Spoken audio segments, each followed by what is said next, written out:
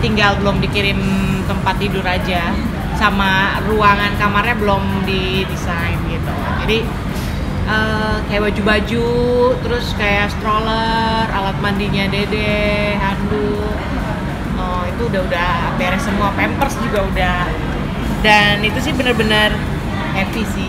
Jadi aku nyuci baju dede tuh sendiri Eh, pas ngejemur tuh ya ampun lucu banget ya girly-girly gitu kan warna pinky-pinky aku belinya.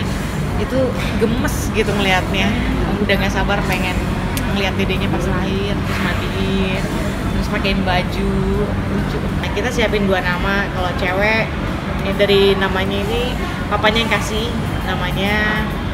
Ada dua eh, Melisa Ratu Zevanya eh, Melisa Ratu Zevanya Adrianto sama eh, mm, Melisa eh, Ratu eh sama Ratu Zevanya Adrianto sama Melisa Ratu Zevanya. Iya. Jadi kalau cowok eh, Muhammad Achilles Wirasena.